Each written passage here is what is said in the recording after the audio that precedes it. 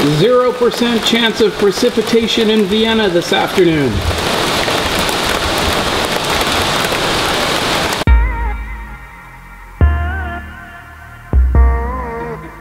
We've arrived in Austria, and of course, if you're in Austria, you have to come to Vienna, and you can't not tour the Hofburg Palace. Now, this is after we've already toured it. The reason I'm doing the vlog from out here is because, unlike all the other places we've been to on the trip so far, there is no photo and no video in most of the things in there. If you go into the riding school, which is very cool, no video, no photo. If you go into the apartments, no photo, no video. So, this is the outside of the Hofburg Palace.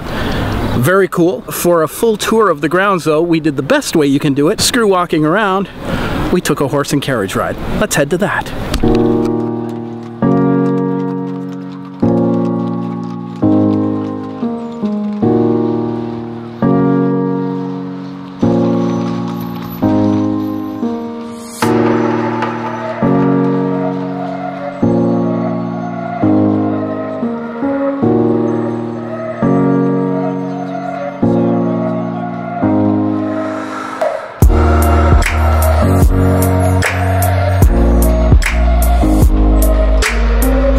Fantastic way to tour through Hofburg Palace.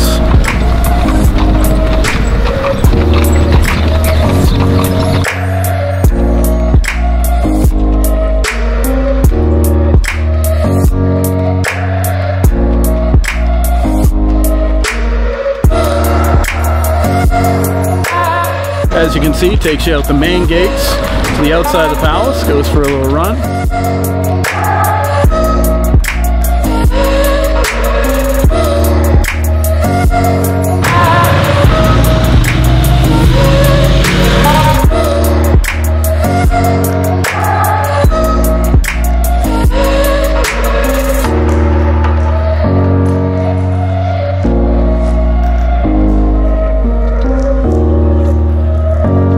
City Hall.